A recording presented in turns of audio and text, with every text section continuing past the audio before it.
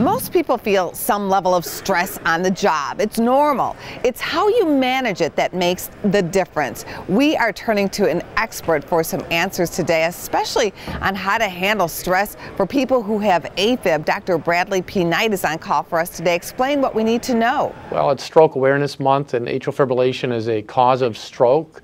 So I think it's important for people to recognize it's the most common heart rhythm disorder, and it can affect three to six million Americans. Uh, it's an important thing to be aware of. Who is most at risk?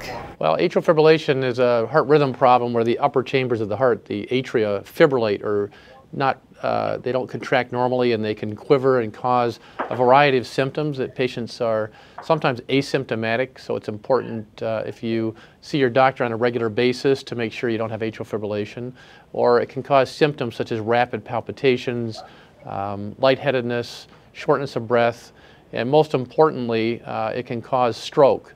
If a clot forms in the heart while the heart's fibrillating, it can leave the heart and go to the brain and cause uh, an obstruction of the blood flow to the brain causing a stroke. What are some of the signs and symptoms? If you have any signs of a stroke, uh, you should immediately call 911. Those signs of a stroke uh, would include difficulty moving your arm or leg, uh, facial droop is a sign of stroke, difficulty speaking, and it's, it's time sensitive. You need to go to the hospital or call 911. Is there a particular age group in the workplace that really needs to be aware of heart issues? It's mainly a disease of, of aging, and about 5% of people over 65 have AFib, but it can affect all ages uh, of, of patients.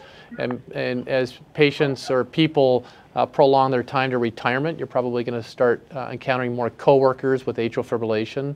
It can cause, because by stress um, or other health conditions such as obesity, which can be aggravated, I think, uh, uh, at work. What do coworkers need to do? The first message is that this is beyond the control of the coworker. So if I were to deliver one message about your coworkers, it would be empathetic. So patients with atrial fibrillation can have recurrent episodes, and you know if they experience symptoms while they're at work, uh, it's important to let them seek medical care, to make uh, take some time off periodically to make their regular doctor's appointments.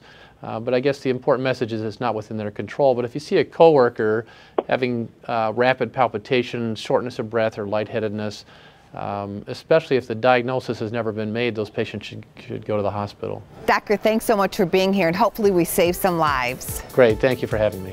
Check out businessfirstam.com to find out where to see our entire show. And don't forget to like, follow, and share Business First AM.